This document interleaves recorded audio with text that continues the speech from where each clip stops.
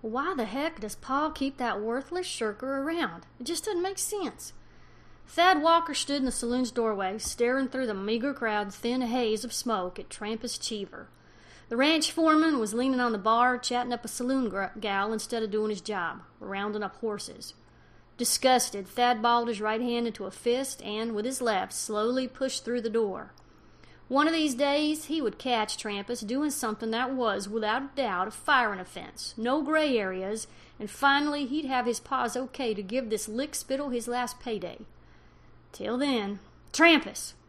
The man slid his gaze from the pretty little distraction of Thad.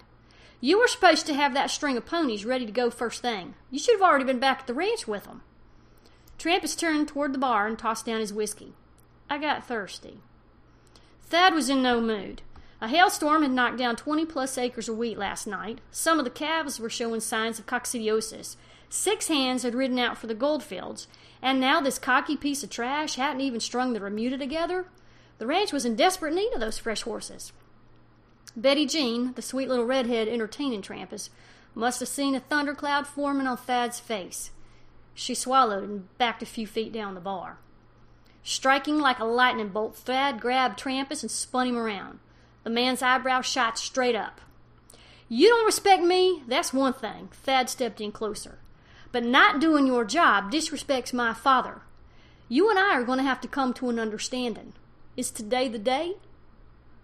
Trampas stood up to Thad for a second, then smiled and inched back. No, sir. He grabbed his hat off the bar. I'll get right to those horses. A smirk played on the man's lips as he sidestepped Thad with a nod and departed the saloon. Thad grit his teeth, wondering when, not if, a fight was coming. Maybe not today, but Trampas was going to get that smirk knocked right off his bony face, and Thad had the fist that could do it. Ignoring the stunned silence and transfixed stares of saloon patrons, Thad stomped out on the boardwalk and paused. To his left, Trampas sauntered off toward the stockyard, long legs moving at a leisurely pace. The ranch hand's gangly frame reminded Thad of a praying mantis, and he hated bugs. Feeling more than a little surly, he scanned the street in search of his brother, but found something that lifted his mood right considerable. A pretty little strawberry blonde in a powder blue dress stood outside the bakery. He watched as she tugged on her shirt waist, adjusted her fluffy, lacy sleeves, rolled her shoulders, and then stepped inside. A lot of fuss for some bread.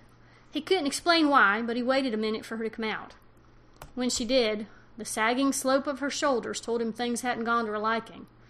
She took a few steps with her head down, but then seemed to think better of it. She stopped, raised her chin, and marched into the general store. It didn't take a genius to figure she was probably hunting for a job.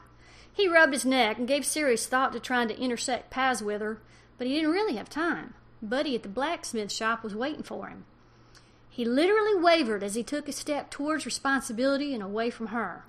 His weathered cowboy boots wanted to follow those petite lace up boots, his brain wanted to take care of ranching business. Both his brothers would already be across the street, asking the young lady to join them for ice cream.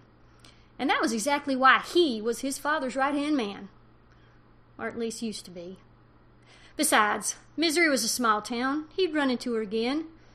He gained enough willpower from that to set off for the blacksmith shop, but not without one last glance back at the general store.